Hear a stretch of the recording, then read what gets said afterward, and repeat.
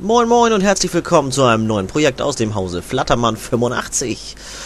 Ja, euer Alex meldet sich nach einer kleinen Kreativpause zurück. Und zwar mit dem Spiel Resident Evil Outbreak. So ungefähr. Ähm, ja, endlich mal wieder ein Resident Evil Spiel und da gibt es gleich einige Neuerungen. Also wir haben nicht einen unserer gewohnten Charaktere, wie, was weiß ich, Jill oder Chris oder Leon oder Claire. Nein, wir spielen mit, äh, ja, wir können mit acht unterschiedlichen Figuren spielen. Für welche ich mich gleich entscheide, das werdet ihr dann sehen. Und es gibt auch einige neue Fähigkeiten in dem Spiel. Und so ein paar Änderungen, die jetzt nicht unbedingt von Vorteil sind. Aber das werden wir gleich alles sehen. Wir starten mal das Spiel. Wie ihr seht, ein PlayStation 2 Spiel. Und von diesem Spiel gibt es äh, zwei Teile, also das ist so eine Nebenreihe, sag ich mal, die wieder zwischen Teil 2 und 3 spielen von der Zeit her. Genau, PlayStation 2. Now loading. Also ich habe wieder so eine Uncut-Version. Ich bin der Meinung, die ist aber, ja meine ich, die kann ich auch auf Deutsch einstellen. Also nicht wie bei RE3. Hier haben wir es auch Videomodus ändern? Nö, nö, mach mal. Alles gut. Alles gut. Ja, das Problem ist, ähm, das Menü, mit dem wir uns sonst immer, ja, sicher schätzen konnten, weil wir da ungestört waren. Ja, das gibt es in der Form jetzt nicht mehr. Wenn wir unsere Waffe wechseln oder irgendwelche Sachen kombinieren wollen, dann läuft das Spiel weiter. Das heißt, wir können in der Zeit angegriffen werden. Das ist nicht so prall. So, das seht ihr, worum es geht. Wir spielen. Das ist normal. Und zwar spielen wir. Sehr schön, ne? Ist herrlich. So, hier die drei Fragezeichen. Justus, Peter und Bob. die können wir noch nicht auswählen. Das sind halt so Bonussachen, die man freischalten kann. Und also es ist so ein Spiel, da kann man etliche Sachen freischalten. Das will ich aber mit euch alles gar nicht machen. Ich möchte euch das Spiel halt nahelegen und vorstellen und das mache ich, indem ich diese Szenarien, das sind glaube ich fünf, fünf oder sechs, aber ich, nee, ich glaube fünf, fünf sind's, die werde ich halt mit einer Person durchspielen und ich will sie so gut wie möglich bewältigen und das soll dann, ja, damit soll das Let's Play dann äh, auch äh, fertig sein. Also ich will keine Bonuslevel oder sonstige irgendwelchen Nebenaufträge machen. Wenn ihr da einen Walkthrough zu sehen wollt, dann müsst ihr mal gucken. Da weiß ich jetzt nicht, wer da eins zu gemacht hat. Da gibt es bestimmt eine jede Menge, jede Menge gute Beispiele. Wir machen ein Let's Play von den fünf Szenarien. Und ich gucke mal, wen wir denn nehmen können. Ich habe schon so im Kopf, wen ich nehmen will. Okay. Das erste Szenario, was wir nehmen, heißt Ausbruch. Ein anderes können wir auch noch nicht nehmen. Ein typischer Abend in Jays Bar, bis die Party überraschend gestört wurde. Dieser Überlebenskampf hatte begonnen. Ach, unser. Unser Überlebenskampf hatte begonnen. Gut. Ja, dann fangen wir das doch mal an. Jetzt haben wir hier verschiedene Charaktere. Wir haben Kevin, einen Polizisten. Mark, ein Wachmann. Jim, ein U-Bahn-Angestellter. Der Typ, der regt mich wahnsinnig auf. Der hatte mich einen so einen bestimmten Satz in dem Spiel. Immer wenn der uns äh, begegnet, dann hört man, ich sag mal zu 50% sagt er zu einem, My life is shit. Und das regt mich auf. Der regt mich einfach nur auf.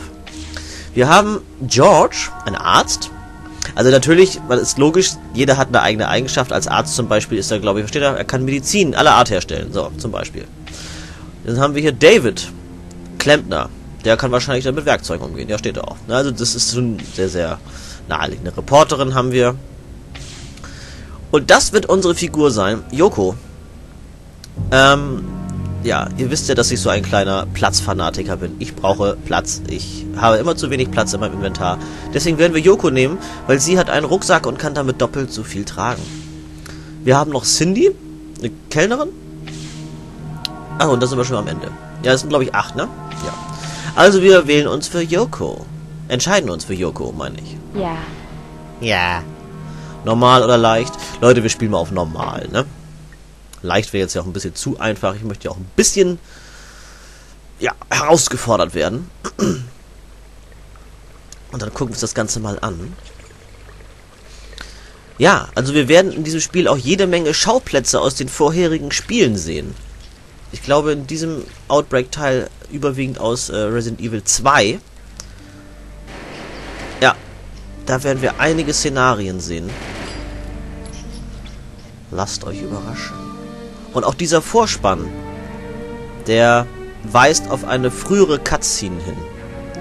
Müsst ihr mal genauer darauf achten, dann werdet ihr das bestimmt herausfinden. Ich bin jetzt mal ruhig und genieße ein bisschen die Musik.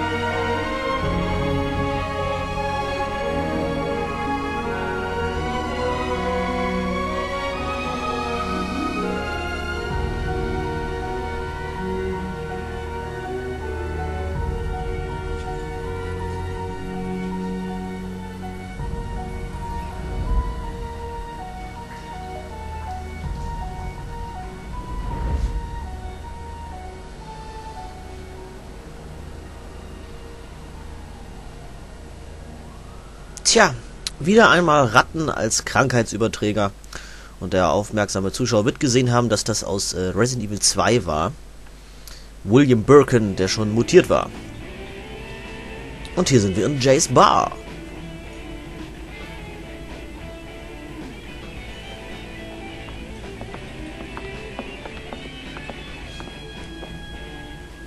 There was a disruption earlier at today's football match.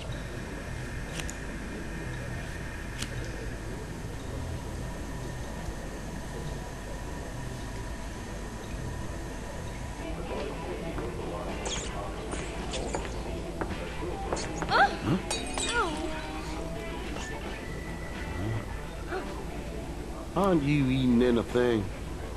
Hey, Bob, where's your mind at? What?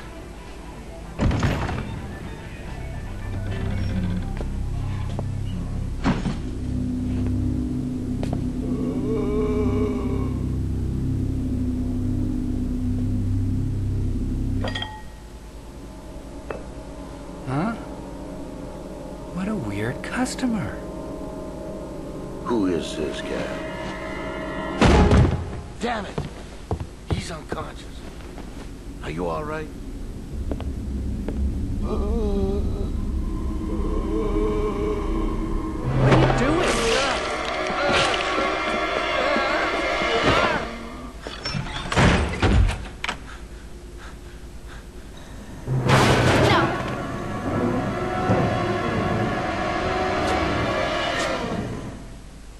Und schon sind wir mittendrin im Geschehen.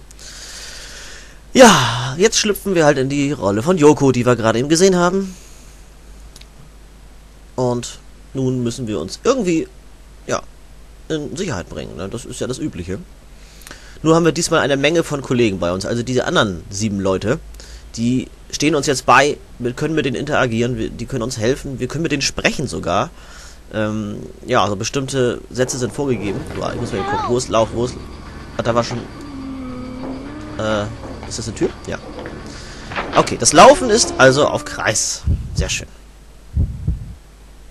Das ist ja immer so mein Problem, dass das jedes Spiel wieder woanders ist, aber gut. Jace Bar, ich hab's gesehen. So, sind das so lange Ladesequenzen gerade? Das ist eigentlich nicht normal. Hallo. Ich glaube, das Spiel hakt ein bisschen.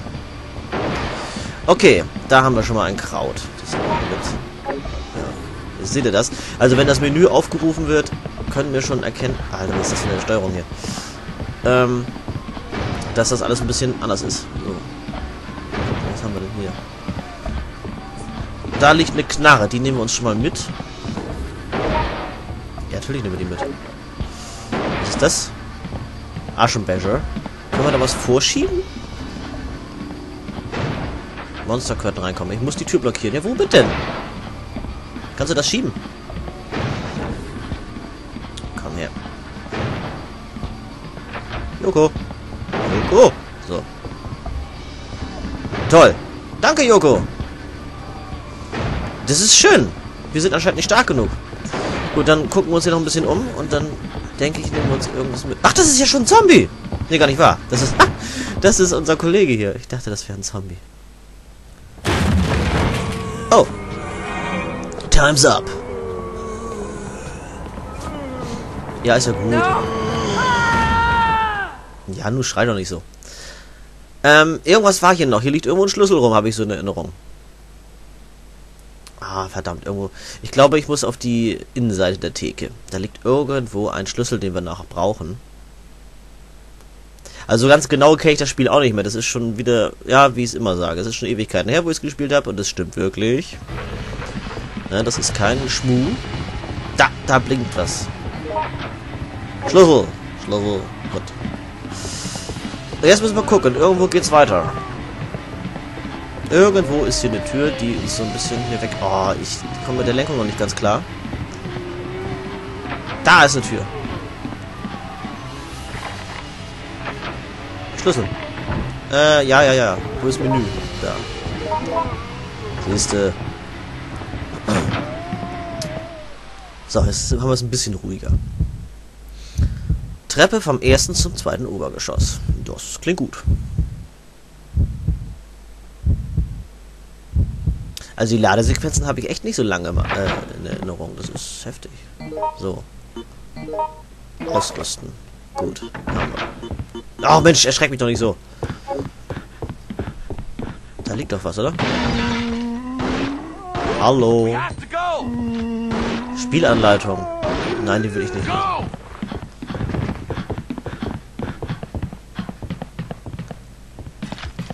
Ah, Kraut. Ja, nehmen wir mit. Wie können wir denn rufen?